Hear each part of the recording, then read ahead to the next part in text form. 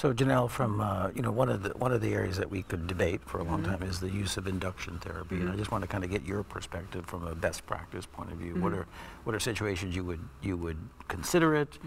Why would you consider it? Those sorts of things. Yeah, so in particular, patients with marginal performance status. And in those patients, you may be worried can they tolerate the chemotherapy and radiation therapy? And I think it's very reasonable in that setting to start the patient on chemotherapy, see how they do, and in turn, keep in communication with your radiation oncology team so that maybe by cycle two, um, they can start the, the radiation along with the chemotherapy. The other area I think chemotherapy can be valuable is somebody who has bulky disease.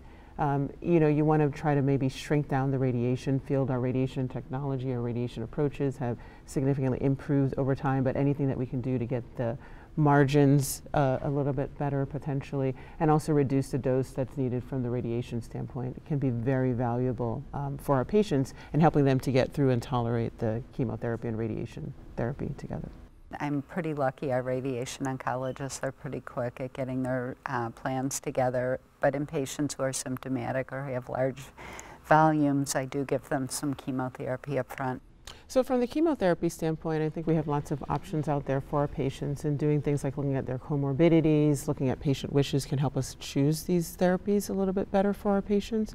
And also the other thing to consider for our patients is if you have somebody with bulky disease, if you think there's any potential delays in getting them to radiation therapy, maybe you have logistical issues that you, you need to overcome depending on your location, is that certainly chemotherapy followed by the chemoradiation therapy is going to be something to certainly consider.